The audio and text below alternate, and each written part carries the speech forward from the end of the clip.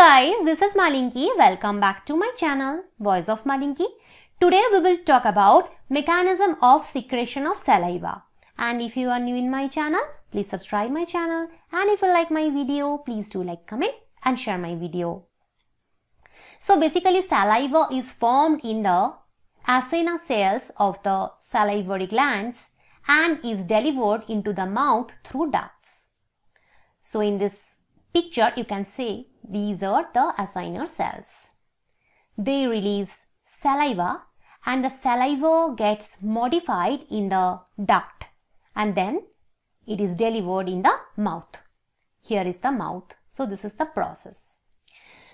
Okay, so steps of salivary secretion. It has two main steps, primary secretion and secondary secretion. Primary secretion. These acinar cells secrete isotonic saliva. Here, this is the isotonic saliva which contains water, sodium ions and chloride ions. Okay, so this is the isotonic.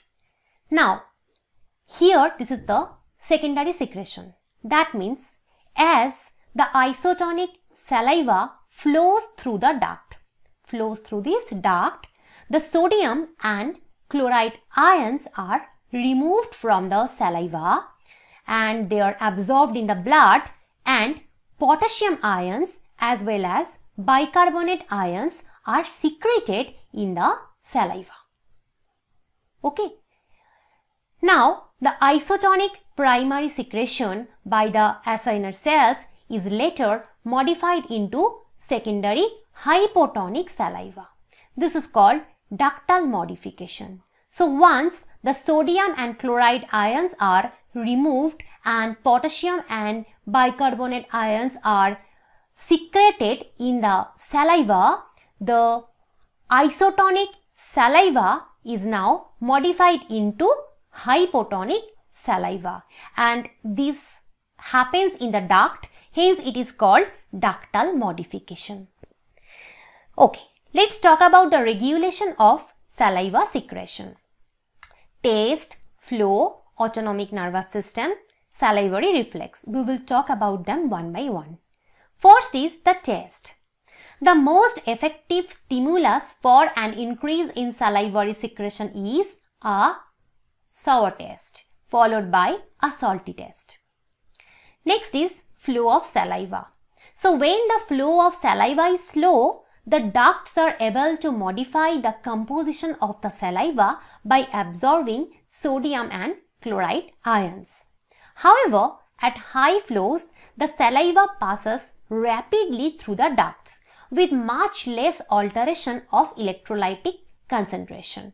Thus, the electrolyte concentration of saliva at high rates of flow are more similar to the primary saliva concentration produced by the acinar cells.